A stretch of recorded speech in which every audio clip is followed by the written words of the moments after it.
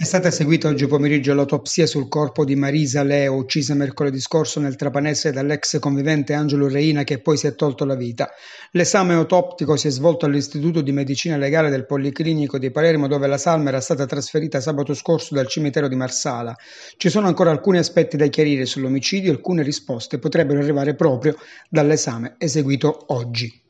L'intervento chirurgico per una occlusione intestinale subito l'8 agosto scorso è perfettamente riuscito, ma a preoccupare al momento i medici dell'ospedale San Salvatore dell'Aquila è il tumore al colon in uno stato avanzato che ha fatto peggiorare le condizioni generali del boss Matteo Messina Denaro. Per questo da una settimana il capomafia è nella cella del reparto per detenuti. L'aggravarsi delle sue condizioni di salute rende molto complessa la gestione della vicenda da parte di sanitari, vertici e istituzioni competenti che sono in contatto continuo. Grave episodio di microcriminalità stamattina a Favara dove un anziano di 83 anni è stato legato, picchiato e selvaggiamente aggredito da dei delinquenti, sicuramente più di uno, che sono riusciti ad avere accesso all'interno della sua casa fingendosi tecnici inviati per risolvere un guasto alla condotta idrica una volta avuto accesso in casa per l'uomo è cominciato un vero e proprio incubo fatto di botte e minacce con una pistola.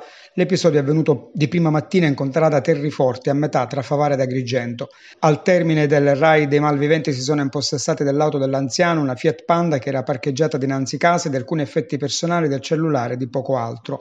L'uomo, una volta soccorso, è stato trasportato d'urgenza all'ospedale San Giovanni di Dio di Agrigento, dove attualmente si trova in stato di shock per curare le numerose ferite subite a seguito del pestaggio. 10 barchini con a bordo 364 migranti sono stati soccorsi al largo di Lampedusa dalle motovedette della Guardia di Finanza dalla nave ONG Sea Punk 1.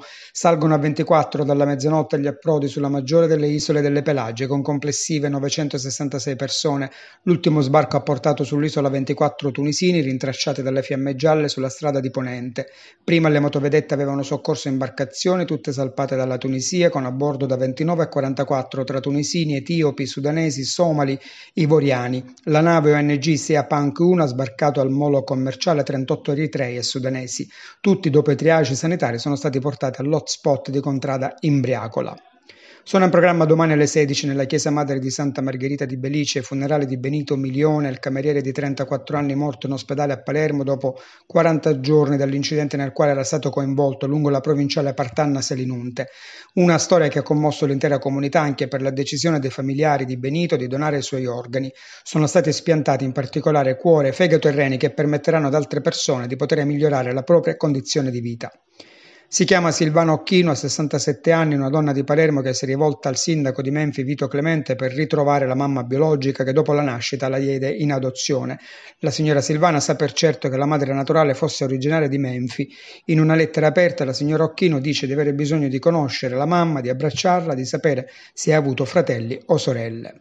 Sono 229 tra dirigenti medici e comparto dipendenti dell'ASP di Trapani assunti a tempo indeterminato che hanno maturato i requisiti per la stabilizzazione. In particolare sono 207 dipendenti del comparto nei ruoli sanitario, sociosanitario, amministrativo, tecnico e professionale e 22 dirigenti medici, in particolare un dirigente biologo, un dirigente farmacista, 12 psicologi, un medico di chirurgia plastica, due medici ginecologi ed ostetrici, due nefrologi, un medico di otorino laringoiatria, un fisiatra e un medico di medicina legale.